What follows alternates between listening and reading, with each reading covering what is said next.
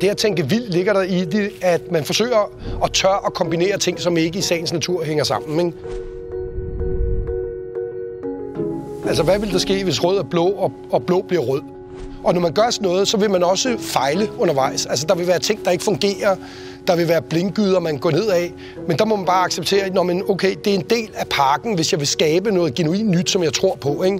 Altså, det er det her med, at du tør at kombinere ting, som, øh, som ikke ud fra common sense kan kombineres. Ikke? Det er jo også det, der ligger i stor videnskab. Altså, når, når kvantefysik sidder og spekulerer om parallelle universer osv., så, så er det jo også meget et forsøg på at kombinere ting, som i sagens natur ikke kan kombineres. Og det ligger jo i, i den videnskabelige tanke. Altså i det øjeblik, du forsøger at presse den logiske tanke ud til et bristepunkt, så vil du møde paradokset.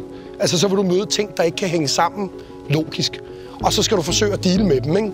Få dem til at spille sammen, ikke desto mindre. Det er der jo en enorm øh, innovationsværdi i. Det er sindssygt svært. Risikoen for, at du fejler, er enormt høj. Men, det, men, men når det lykkes at gøre det, jamen så har du skabt noget, som verden ikke tidligere havde set. Ikke?